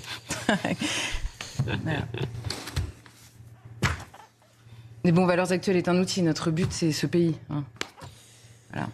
Merci en tout cas de ce témoignage dans l'actualité. Euh, voilà, et moi je pense que c'est cette dernière phrase qu'il fallait absolument entendre euh, et qui a été assez peu relevée hier. Ah bah Asgard l'avait relevé. Pardon, j'avais pas vu Asgard son message. Euh, voilà. Alors, bon, est-ce que c'est surprenant? Je ne sais pas. Mais donc Charlotte Dornelas dit valeur actuelle n'est qu'un outil, notre euh, objectif c'est le pays. Euh, ce qui pour une journaliste est un peu surprenant. Mais est-ce qu'on est vraiment étonné? Je ne sais pas. En tout cas, euh, je pense que... alors je ne sais pas si Charlotte Dornelas avait prévu de, de faire cette sortie ou si ça lui a échappé parce qu'elle a l'air, je ne sais pas, sincèrement émue ou en tout cas, bon, je ne sais pas, bref. Euh, mais quelqu'un veut me piquer mon abonnement au monde. Mais, euh, mais en tout cas, euh, voilà ce qu'elle dit. donc ce journal n'est qu'un outil, notre objectif c'est le pays. ce qui aussi, du coup, confirme par défaut ce que faisait Geoffroy Lejeune à, valeur actuelle en poussant la candidature de, de Zemmour. Datatien qui c'est pas VA qui avait participé financièrement à la campagne de Zemmour. Alors je ne sais pas s'ils ont participé financièrement. Euh, mais ce qui est certain, c'est que certains journalistes de valeur actuelle étaient en tout cas très très très très très très très proches des équipes de campagne d'Éric Zemmour. Mais par ailleurs, euh, Geoffroy Lejeune ne s'en cache pas. Il a toujours dit qu'Éric Zemmour était un ami. Il a fait deux livres sur Éric Zemmour. Euh, salut Léna, merci d'être passé. Y a demain, j'espère. il a fait deux livres sur Éric Zemmour, donc il s'est jamais caché de de faire la promo d'Éric Zemmour. Hein. Un journaliste de l'UMA pourrait dire la même chose. Bah, je ne sais pas faudrait leur demander. Je suis pas sûr que les journalistes de l'UMA aient envie de diriger le, diriger le pays. moi, ce que je comprends de ce que dit Charlotte Dornelas, euh, c'est que euh, c'est que euh, eux-mêmes, personnellement, se verraient bien prendre d'autres responsabilités que juste journaliste à valeur actuelle. Et donc toute cette polémique, enfin toute cette polémique, non, toute cette crise à valeur, elle a aussi une autre euh, dimension. Euh, quelqu'un en a parlé tout à l'heure, c'est euh, le scandale Papacito, entre guillemets. scandale qui a été révélé par Check News il y a quelques semaines. Alors, je ne sais pas si vous avez suivi. Toute la séquence est incroyable. Pro parle comme si des gens étaient morts, mais on ne parle pas de l'éléphant dans la pièce. Le jeune est d'Ornelas. oui, oui, bah c'est ça. C'est ça, c'est ça. Si c'est assumé, on a encore franchi un, échelon. Euh, ouais, alors après, je sais pas si c'est un échelon qu'on est surpris d'avoir franchi, honnêtement. Euh, mais en effet, euh, j'ai rien suivi de Papacito. Et bah, ça tombe bien. On va en parler tout de suite. Donc, il y a quelques semaines, Papacito, je sais pas si vous le connaissez, mais donc, qui est un youtubeur d'extrême droite, a fait une vidéo sur un conflit de voisinage dans un petit village qui s'appelle Montjoie. Euh, entre un agriculteur et, euh, en tout cas, des propriétaires terriens qui habitent juste à côté. Bon, il y a un conflit sur, la ferme de l'agriculteur. Euh, lui, il a vu un prétexte à une guerre de civilisation, parce que je crois que les propriétaires terriens sont britanniques, donc pas français. L'agriculteur est français. Voilà, vous avez saisi l'angle d'attaque de Papacito. Et donc il a fait une vidéo extrêmement violente, hein, où il compare le maire de la ville à un nuisible, et on voit des hommes en armes. on, voit un morceau de la vidéo là sur, sur l'image de, Libération. On voit des hommes en armes dire on va aller chasser les nuisibles. Euh, sous-entendu le maire de Montjoie, évidemment, qui a reçu depuis des menaces, des mails, des insultes, etc. Bon. Cette vidéo était en partenariat avec Valeur Actuelle, et plus précisément avec le service vidéo de Valeur Actuelle qui s'appelle VA+. Euh, et c'est ce qu'on voit, je sais pas si on le voit, je sais pas si vous le voyez vous à l'écran, mais c'est ce qu'on voit sur l'image euh, qui est là parce que ça a disparu depuis de YouTube, ça a été supprimé par Papacito sur sa chaîne. Par ailleurs, Papacito a fermé la chaîne de... euh, YouTube pardon, a fermé la chaîne de Papacito. Euh, donc au départ, on avait le nom de VA+, qui était associé à cette vidéo. Dans un deuxième temps, Papacito a supprimé le nom de VA+. Dans un troisième temps, YouTube a carrément fermé la chaîne de Papacito. Bon. Euh, et donc, un peu après la publication de, de l'article de, de la vidéo de Papacito, euh, Check News sort un article pour dire qu'en fait, la vidéo de Papacito a créé une tempête en interne, euh, notamment à l'initiative de euh, Tugdual Denis, qui est directeur adjoint de la rédaction à ce moment-là. C'est l'adjoint de Geoffroy Lejeune. Depuis, il a été nommé directeur de la rédaction en remplacement de Geoffroy Lejeune. Ah oui, le maire de Montjoie a été mis sous, protection, si je dis pas de bêtises. Euh, et donc que Tugdual Denis aurait découvert, selon Jack News, euh, le partenariat avec Papacito. Alors ce qu'on voit dans la vidéo de Papacito, c'est qu'en fait, lui fait ce qu'il raconte au début de sa vidéo. Il dit, moi je fais l'enquête de terrain, enquête avec des guillemets, mais en tout cas, moi je suis sur le terrain à Montjoie, euh, et en gros, les journalistes de valeur, ils sont deux, vont euh, m'aider à passer des coups de fil à des gens que moi je peux pas atteindre, les autorités, etc. Euh, donc ils font une sorte d'enquête, en je mets beaucoup de guillemets en enquête, mais en tout cas d'enquête en collaboration. Et donc, apparemment, ce que raconte Check News, c'est que Dual Denis aurait totalement découvert le partenariat entre Papacito et deux de ses journalistes, et qu'il aurait, euh, pour le dire euh, poliment, pété un plomb au milieu de la rédac en découvrant que deux de ses journalistes étaient associés à, à Papacito. Et alors donc, je cite Check News qui cite Tuc Duel Denis euh, à propos de ces journalistes. Vous faites vraiment, vraiment, vraiment chier. Je sais pas ce qui se passe dans votre tête. Vous faites une putain de vidéo de merde à chier avec ce connard. Vous êtes ces chaouches. Alors je ne connaissais pas l'expression, mais apparemment ça veut dire c'est larbin. Euh, vous faites donc ces chaouches dans une vidéo en utilisant le studio. Vous êtes indéfendable. Parce que, en effet, dans la vidéo de Papacito, les deux journalistes se filmaient dans le studio de VA. Alors donc, bon, ça pose déjà une question un peu évidente, c'est comment deux journalistes de VA+, ont pu utiliser le studio de Valeurs Actuelles sans que personne ne soit au courant. Euh, bon, euh, admettons qu'il l'ait fait peut-être le soir, ou j'en sais rien, euh, discrètement. c'est quand même assez dingue. Et en fait, ce qui est encore plus dingue dans cette histoire, c'est que donc Tuc Dual Denis leur dit en substance si l'actionnaire apprend que vous avez fait ça, euh, je vais devoir vous virer. Salut Bubule, bienvenue. et en fait, on découvre le vrai problème de euh, Tuc Dual Denis. C'est pas tellement d'avoir fait une vidéo avec Papacito ou de devoir virer deux journalistes. c'est qu'en fait, il dit donc le jour où Iskandar Safa, donc le patron, enfin le propriétaire de Valeur Actuelle, euh, avant de cette histoire, c'est sûr que dans la minute, ils vont me demander de vous virer. Ce serait le pire service à me rendre parce que le seul objectif que j'ai après le départ de Geoffroy Lejeune, c'est de ne pas passer pour un mec centriste dont le premier geste serait de virer des gens parce qu'ils sont associés à un mec d'extrême droite. Phrase euh, qui en dit beaucoup sur Valeurs Actuelles et sur ce qui s'y passe. Euh, en fait, la seule crainte de Duel Denis, c'est pas de virer deux employés parce qu'ils ont déconné, pour le dire euh, communément, euh, c'est de passer pour un mec centriste en les virant et qu'on considère qu'il est plus assez d'extrême droite. Ils ont dû ruser en disant on peut prendre le studio pour faire la vidéo avec le racisme, personne n'a vu Peut-être. Euh, ah oui, c'est ça ton problème. Et oui, c'est ça son problème. Euh, voilà. Mais ce qui est en même temps logique économiquement, puisque quand Geoffroy Lejeune, il y a un an à peu près, a lancé une campagne qui s'appelait Je soutiens Valeur Actuelle, ils avaient récolté 7000 abonnés. donc en effet, c'est 7000 abonnés qui sont venus pour soutenir la ligne Geoffroy Lejeune, donc la ligne pro-Zemmour. Donc si aujourd'hui vous faites marche arrière en disant bah en fait on n'est pas pro-Zemmour, on n'est pas d'extrême droite, bon ce qui n'arrivera pas à l'heure actuelle, mais en tout cas si vous prenez une ligne plus modérée, vous n'êtes pas à l'abri de voir partir des milliers de gens qui sont pas venus pour ça quoi. On n'a pas tous les mêmes problèmes au travail, non ça c'est sûr. Ils sont tous d'accord sur le fait de l'avoir fait, mais ils voulaient pas se faire choper. Euh, je ne sais pas, ce qui est certain c'est que par ailleurs, euh, s'associer à quelqu'un comme Papacito pour un journal comme Valeur, c'était en effet un peu compliqué en termes d'image publique. Quoi qu'on pense de l'image publique qui a déjà valeur actuelle, hein, euh, c'est un sacré pas à faire, quoi.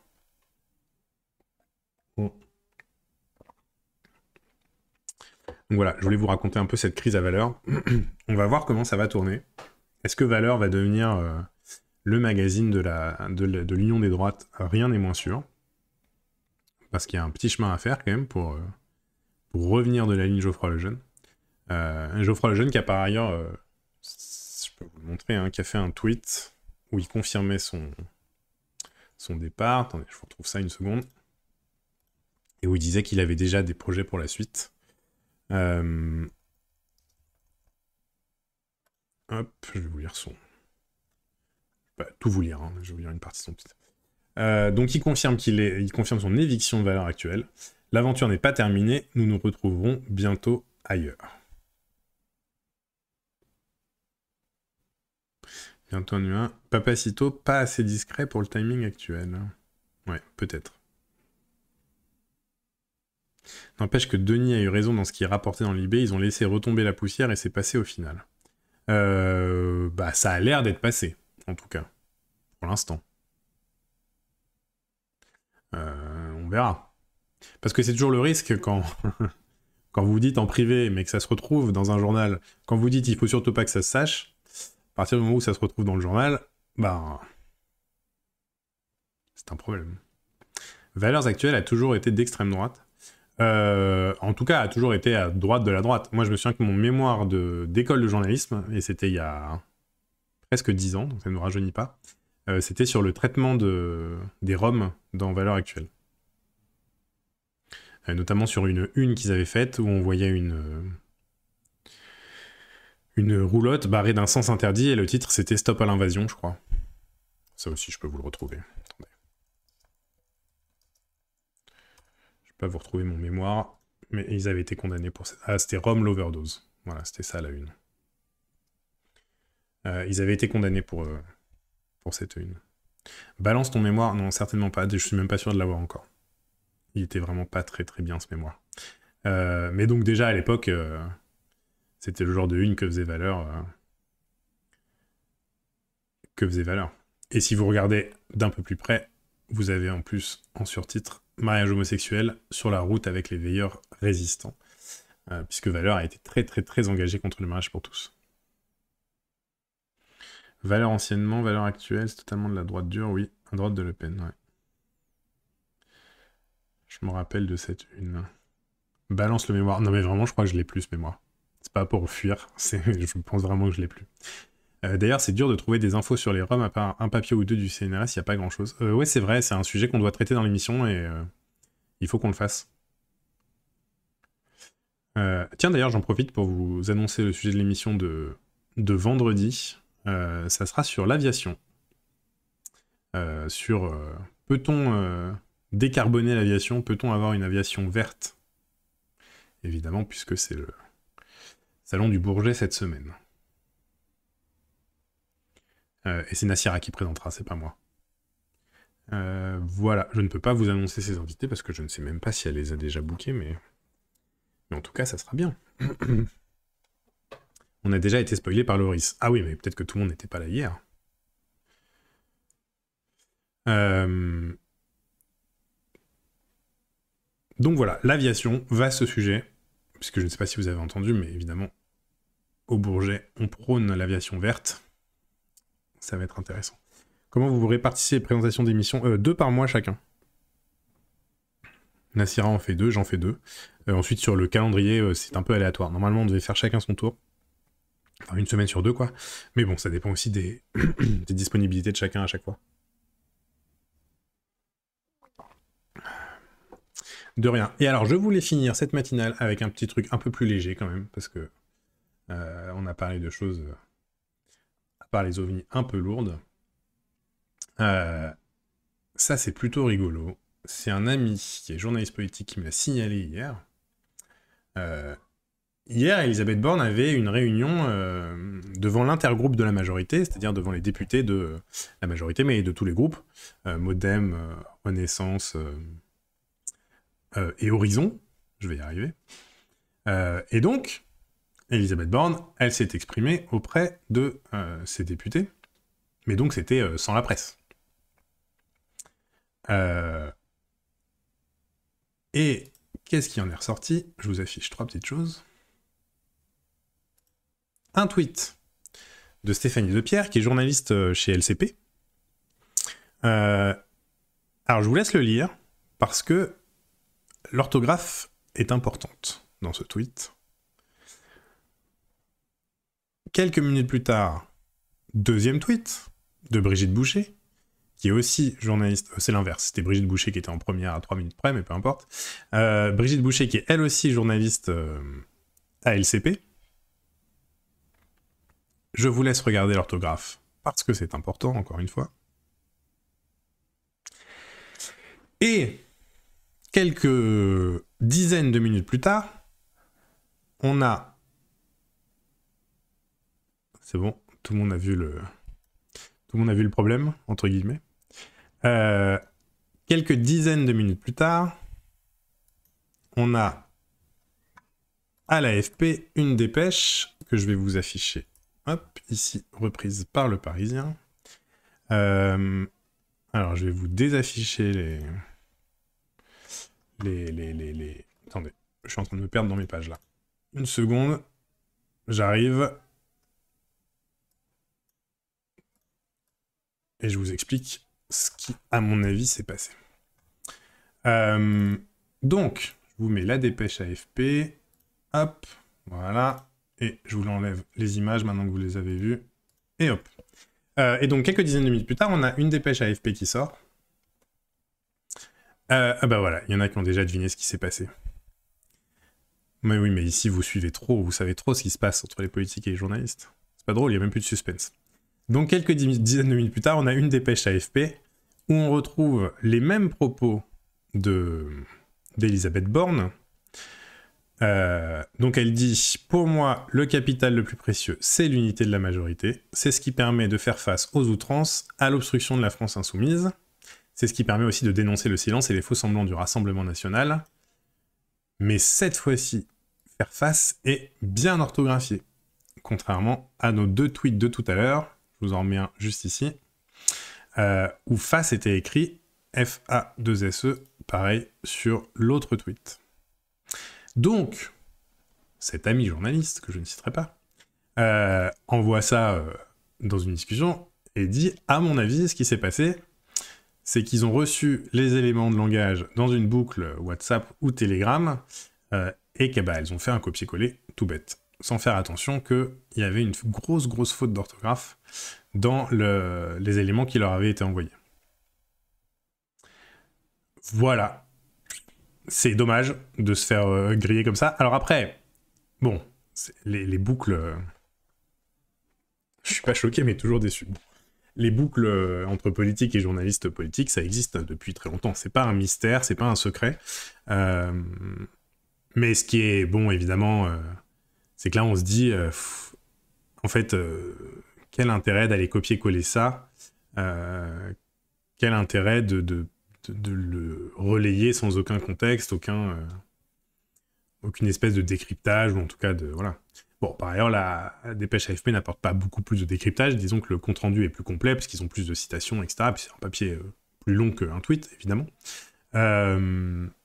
Mais voilà, comme quoi, leçon pour les journalistes politiques, toujours vérifier l'orthographe de ce qu'on vous envoie, parce que quand on est plusieurs à copier-coller, forcément, ça pose problème. Et en plus, troisième, troisième tweet, celui-là, qui est assez drôle, donc d'un compte 2022 élection.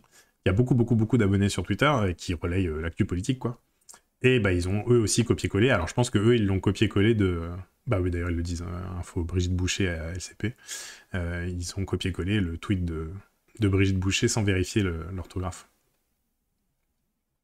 Est-ce que c'est encore du journalisme? Pour moi, c'est de la communication. Euh, c'est une vaste question. Hein. Bah, je vous renvoie encore, comme l'autre jour, à notre émission sur le off et, ce genre de pratique. Euh, c'est en effet un problème. C'est en effet un problème, à mon avis. Euh, ce qui est dommage, c'est que, en fait. Euh, enfin, non. Alors, première chose, ce qui est marrant, c'est que sans la faute d'orthographe, probablement qu'on s'en serait pas rendu compte. Peut-être qu'on aurait vu les deux tweets se suivre, mais comme elles travaillent toutes les deux à LCP, on se serait dit, bon, bah, elles ont publié la même info en même temps, etc. mais en fait, comme on a la dépêche après qui reprend mot pour mot la phrase, ça veut dire que tout le monde a reçu exactement les mêmes euh, citations de ce, qui s'est dit euh, dans cette réunion. Euh, donc, a priori, tout le monde a à peu près la même source. Déjà, sans la faute, on aurait vu le brol. Oh, le brol, c'est joli ce mot. mais là, c'est encore pire, vous relisez même pas. Bah oui, c'est un peu dommage. Est-ce que les tweets ne sont pas écrits par des automatisations Non, je pense pas que c'est automatisé. Je pense que tout ça, c'est des journalistes politiques qui se disent je vais avoir la visite exclue du matin, donc euh, je me dépêche, je copie-colle et je vois même pas ce que je, ce que je copie-colle. En l'occurrence, c'est plutôt l'exclu de l'après-midi. Euh, donc voilà. Ouais, c'est du copier-coller tout bête. Hein. Bon, c'est pas, euh, pas le scandale de l'année, hein. mais bon, c'est toujours rigolo quand on le repère aussi facilement. Et alors, je vous renvoie à deux choses. Donc, notre émission sur le off, euh, je, l'ai déjà mise hier, donc je vais pas la remettre. Euh, mais on avait aussi euh, la même chose chez BFM. un très bon papier de mon collègue Maurice Midena sur les groupes WhatsApp de la préfecture. Que je vous remets, je vous l'affiche ici, et je vous mets le lien. cette fois-ci, c'était plus les politiques ou des députés qui envoyaient des messages, c'était la préfecture de police. Euh, et qui envoyait des messages qu'on retrouvait euh, lus euh, à l'antenne mot pour mot, sans aucune mise à distance ou, mise en contexte, et parfois sans même dire que la source était la préfecture de police. Parce que là, dans le cas de la réunion d'Elisabeth Borne, c'est du off, c'est-à-dire que vous ne pouvez pas citer un élu en particulier, parce que personne n'a envie de dire que c'est lui qui a, fait, qui a publié les éléments de langage. là, dans le cas de la préfecture de police, c'est une boucle officielle avec la préfecture de police, euh, à laquelle on a accédé nous. Euh, donc vous pouvez dire que c'est la préfecture qui parle normalement. Vous devez même le dire. Euh, là, en l'occurrence, c'était pas toujours le cas, malheureusement. Voilà. Est-ce qu'il y a d'autres questions là-dessus? Sinon, on va finir tranquillement cette matinale. Ça me choque pas, il me semble qu'il y a dix ans déjà, des lobbyistes disaient qu'ils retrouvaient leurs fautes d'orthographe dans des propositions de loi. Bah, voilà. encore pire peut-être. Euh, je sais pas si c'est pire, mais en tout cas, c'est au moins aussi problématique. Euh, est-ce que j'avais autre chose à vous dire? Non, alors donc l'émission de vendredi sur l'aviation, ça je l'ai dit. Ah si, c'est ça que je voulais vous dire. Oh là, j'ai failli oublier, très important. S'il y a des abonnés dans le chat, je finis par du gaming. J'aimerais bien, mais je suis pas sûr que j'ai le droit à arrêter sur image. Euh, non, je vais pas remettre les larmes de Dornelas. Euh, les invités, je les ai pas encore. C'est Nassira qui présente l'émission, donc je ne sais pas. Je vous mets ici. Hop. Ça, c'est ce qu'on va faire cet été. Et peut-être avec vous, si vous en avez envie. Si vous êtes abonné à Arrêt sur Image.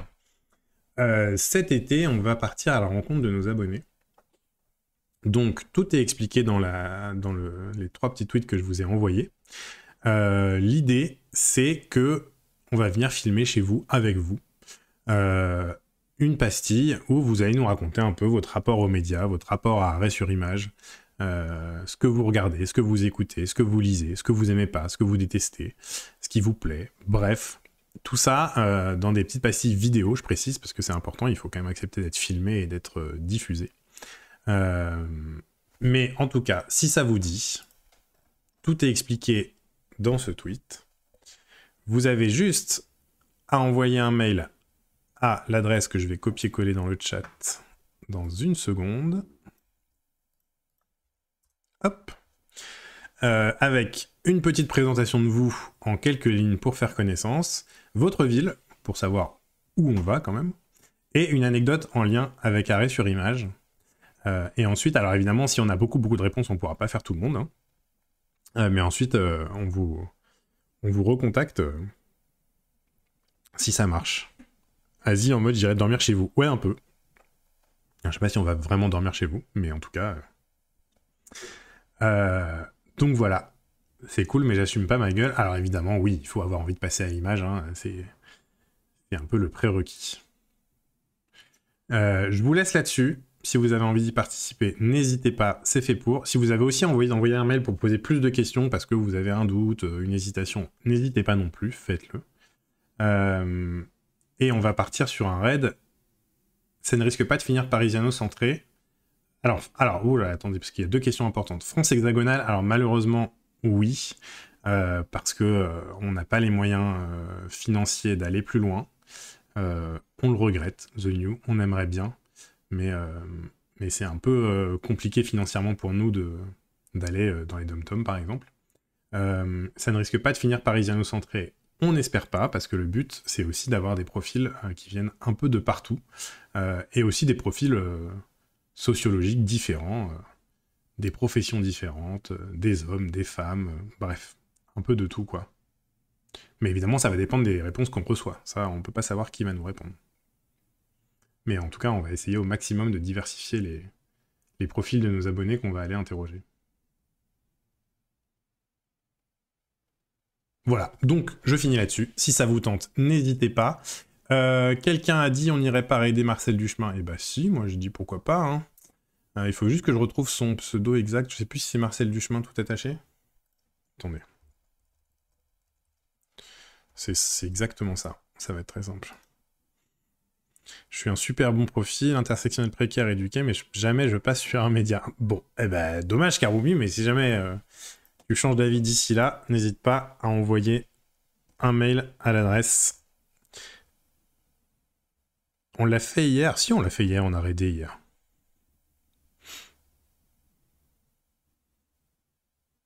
Qui veut m'entendre gueuler 4 heures d'affilée derrière France Inter? Bah, allons-y Pourquoi pas?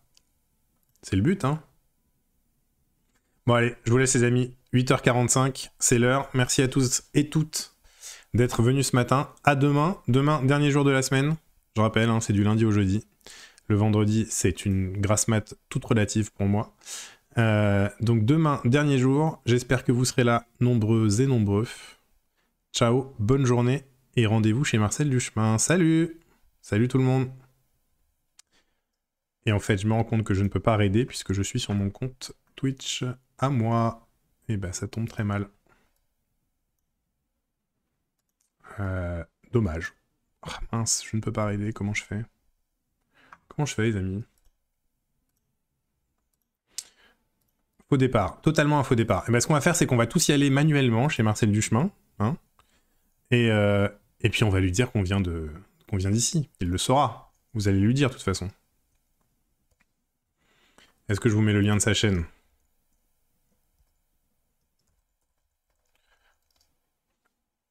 Hop. Le raid des précaires. Ouais, c'est un peu ça. On va faire un raid manuel.